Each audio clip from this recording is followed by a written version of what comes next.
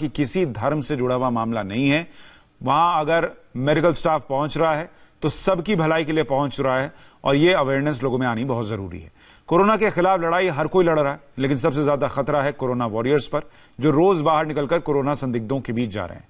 परेशान करने वाली खबर यह है कि कर्नाटक में कोरोना सर्वे करने कई कई आशा वर्कर पर कुछ लोगों ने हमला कर दिया। हैरानी इस बात की है कि मस्जिद से ऐलान के बाद कुछ लोगों ने आशा वर्कर से बदसलूकी की और उसका बैग मोबाइल भी छीन लिया यह हमला सराय पाल्या के सादिक नगर में हुआ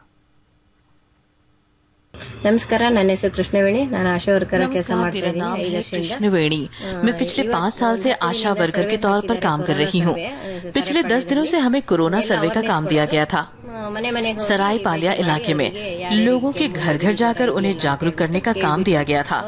जहाँ पर जिन लोगों को जुकाम बुखार खांसी के लक्षण हैं, उनकी जानकारी इकट्ठा करने की ज़िम्मेदारी हमें दी गई थी।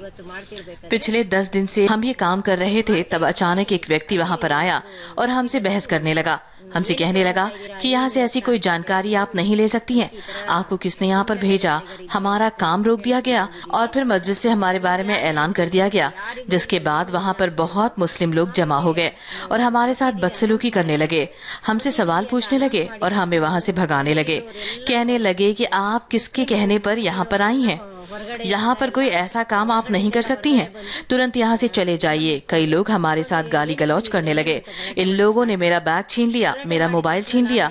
मुझे किसी से भी फ़ोन पर बात नहीं करने दिया गया। एक साथ इतने ज़्यादा लोगों ने मुझे घेर लिया। मैं पिछले पाँच साल से काम कर रही हूँ। आज तक मुझे ऐसा अनुभव कभी नहीं हुआ। मेरी आँखों से आँसू निकल गए। उनकी सेहत की चिंता करते हुए हम वहाँ गए थे।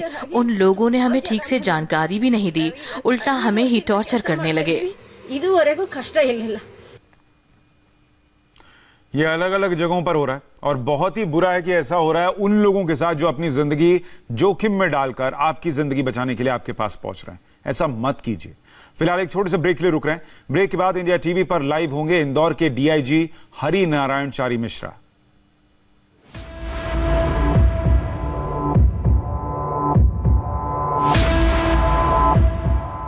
इस कार्यक्रम के